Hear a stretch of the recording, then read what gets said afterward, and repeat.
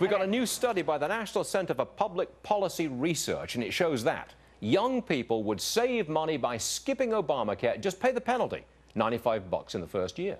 Congressional candidate, the youngest in the nation, is from Virginia. He's a Republican. His name is Ron Meyer, and he joins us now. Ron, welcome back. Good to see you again. Thanks, Stuart. I appreciate it. Is that accurate?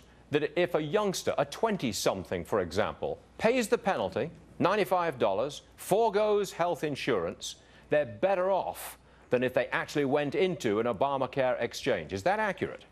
Well, if you think saving a thousand bucks is better off, then yes. We have three million young people who are going to save a thousand bucks if they don't go into the exchanges. And what I'd say is, yes, that's worth it to save a thousand dollars, especially in this economy where a lot of these people are underemployed and they don't have the money to uh, to buy, they don't have the money to, to pay rent, much less spend extra thousand dollars for insurance. We aren't addressing the problem, which is affordability. We put this whole law sure. on the backs of young people in the first place, and it's just gonna it's gonna fall on its face. But if I'm if I'm a youngster, 20 something, and I I'm not not earning very much money, and I go to one of these exchanges, I'm going to get heavily subsidized, aren't I? I'm not going to pay full freight.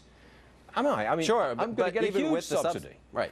Well, even with the subsidies, the problem is we still have 3 million people who could save $1,000 even with the subsidies included. And the problem is because of the, because they'd save so much money, uh, the Obamacare law actually estimates that we'd have 2.7 million young people enter the market. The problem is those estimates are going to be a million people short if the people who could save $1,000 don't get in. And that includes the subsidies. So the subsidies help some people, but they don't help, especially when we have an economy like this one where young people, you know, can't find good starter jobs. They're making the 24 to 26,000 $1,000 range. And so they don't qualify for an incredible subsidy, but they have a little bit, but it's still, uh, it's still very, very, very expensive. Do you think that the Obamacare and its impact on young people is enough to sway the vote of young people away from the left, away from President Obama, and towards you, young Republicans? Do you think it's that strong?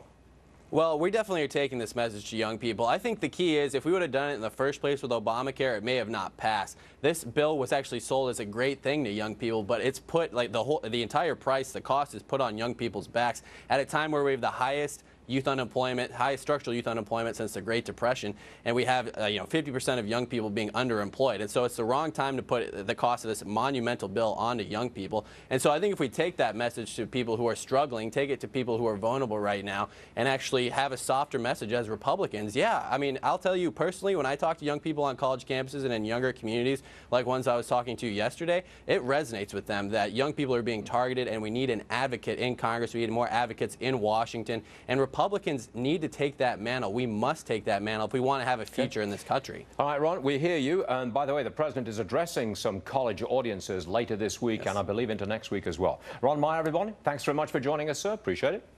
Appreciate it, Stuart. Thank All you. Right.